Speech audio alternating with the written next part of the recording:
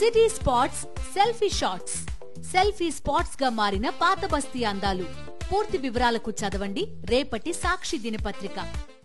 Team India versus Bangladesh మధ్య test సిరీస్కు అంతా సిద్ధమైంది. ఇరు జట్లు తమ తమ ప్రణాళికలతో తొలిపోరుకు రెడీ అవుతున్నారు. అయితే రెండు టెస్టు మ్యాచ్ల సిరీస్లో భాగంగా ఫస్ట్ టెస్టుకు పదహారు మంది సభ్యులతో కూడిన జట్టును బీసీసీఐ ప్రకటించిన సంగతి తెలిసిందే.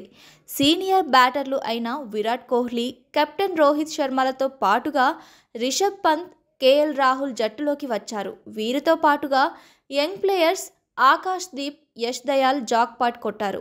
దాంతో తొలి టెస్టుకు ప్లేయింగ్ లెవెన్ ఎలా ఉంటుంది అన్న ఆసక్తి అందరిలో నెలకొంది. ఈ నేపథ్యంలో ప్లేయింగ్ లెవెన్ ఎలా ఉండబోతుందో ఇప్పుడు చూద్దాం. బంగ్లాదేశ్తో జరగబోయే తొలి మ్యాచ్కు చెన్నై చెపాక్ స్టేడియం ఆతిథ్యం ఇస్తున్న విషయం తెలిసిందే. ఇక ఈ పిచ్ ప్రధానంగా స్పిన్కు అనుకూలంగా ఉంటుంది.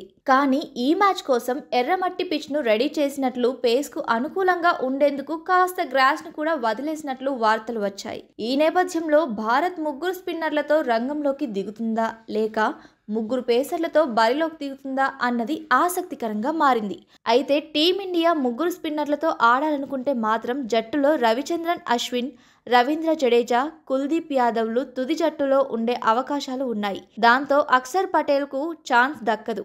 ఇక పేసర్ల విభాగంలో బూమ్రా సీరజ్లతో పాటుగా ఆకాష్ దీప్ యష్ దయాల్లో ఒకరికి ఛాన్స్ దక్కనుంది. ఎర్రమట్టి పిచ్ రెడీ చేశారన్న వార్తల నేపథ్యంలో ముగ్గురు పేసర్లతో బరిలోకి దిగాలనుకుంటే ఒక స్పిన్నర్ను తప్పించే ఛాన్స్ ఉంది. ఇక బ్యాటర్ల దగ్గరికి వస్తే కేఎల్ రాహుల్ రిషబ్ పంత్ ఎంట్రీతో యంగ్ ప్లేయర్లు అయిన సర్ఫరాజ్ ఖాన్ ధ్రువ్ జురేల్కు ప్లేస్ కష్టంగా మారింది. అయితే సర్ఫరాజ్ను సెలెక్టర్లు పరిశీలించాలనుకుంటే మాత్రం రాహుల్ను పక్కన పెట్టొచ్చు. కానీ సీనియర్ ప్లేయర్ అయిన అతన్ని పక్కన పెట్టే ఛాన్స్లు చాలా తక్కువనే చెప్పాలి. ఇక ఓపెనర్లుగా కెప్టెన్ రోహిత్ శర్మ యశస్వి జైస్వాల్ బరిలోకి దిగనున్నారు.